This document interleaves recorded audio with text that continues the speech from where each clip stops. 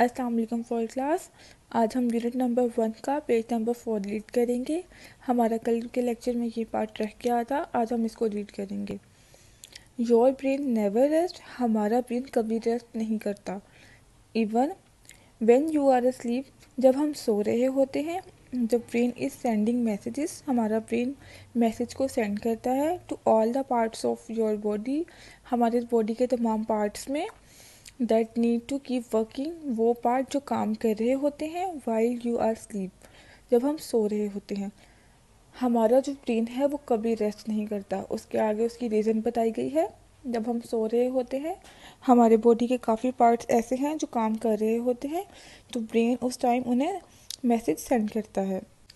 Next है page number five the human brain ये है human brain the cerebrum is the largest part of the brain आप cerebrum को देख सकते हैं डायग्राम में।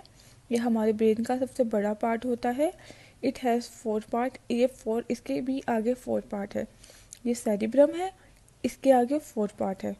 सबसे पहला पार्ट जो है, उसे फ्रंटल लूप कहते हैं। ये रहा फ्रंटल लूप अब जो फ्रंटल लूप होता है कंट्रोल रीजनिंग जो फ्रंटल लूप है, वो रीजनिंग को कंट्रोल करता है। रीजनिंग जब हम कुछ सोच रहे होते हैं कि हमें ये काम कैसे होगा, कैसे ही हम कोई रीज़न तलाश कर रहे होते हैं। उसके बाद अब प्लानिंग जब हम कुछ प्लान कर रहे होते हैं इमोशंस हमारे इमोशंस को कंट्रोल करता है एंड प्रॉब्लम सॉल्विंग और जब हम प्रॉब्लम को सॉल्व कर रहे होते हैं, ये उस चीज़ को भी कंट्रोल करता है। ये है फ्रंटल लूब उसके बाद सेकंड है पार्टियल लूप जो पार्टियल लूप है, आप देख सकते हैं डायग्राम में इसको।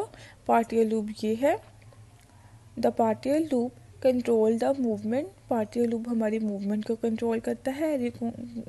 उसके बाद है रिकॉग्नाइजेशन रिकॉग्निशन रिकॉग्निशन कहते हैं आइडेंटिफिकेशन को, पहचान को ये हमारी रिकॉग्निशन को कंट्रोल करता है एंड सम सेंसेस हमारी बॉडी के पाँच सेंसेस हैं, उनमें से कुछ सेंसेस को ये पार्ट कंट्रोल करता है। थर्ड पार्ट है ऑक्यूपिटल लूप ऑक्यूपिटल लूप जो है प्रोसेसिंग वट यू सी जो भी कुछ हम देख रहे होते हैं, ये उसे कंट्रोल करता है और डायग्राम में ये रहा। ओकिपिटल लूप नंबर फोर है टेम्पोरल लूप जो टेम्पोरल लूप है, ये कंट्रोल करता है हमारी मेमोरीज को, हमारी स्पीच को जो हम बोल रहे होते हैं और प्रोसेसिंग करते हैं। बट वी हेयर जो भी कुछ हम सुन रहे होते हैं, ये उसको प्रोसेस करते हैं और ये रहा टेम्पोरल लूप हमारा फोर्थ पार्ट उसके बाद है सेरिब सेरिबिलम जो सेरिबिलम है, ये कंट्रोल करता है हमारे बॉडी के बैलेंस को और हमारी मूवमेंट को. उसके बाद है ब्रेन स्टेम आप इसे देख सकते हैं ब्रेन स्टेम ये रहा. Brain stem link the brain to rest of the body जो ब्रेन स्टेम है, ये हमारे ब्रेन के साथ भी लिंक करता है और हमारी पूरी बॉडी के साथ भी लिंक करता है। ये देखें, इसका एक पॉइंट जो है वो ब्रेन के साथ अटैच है, जो दूसरा पॉइंट होगा वो हमारी पूरी बॉडी के साथ अटैच होगा।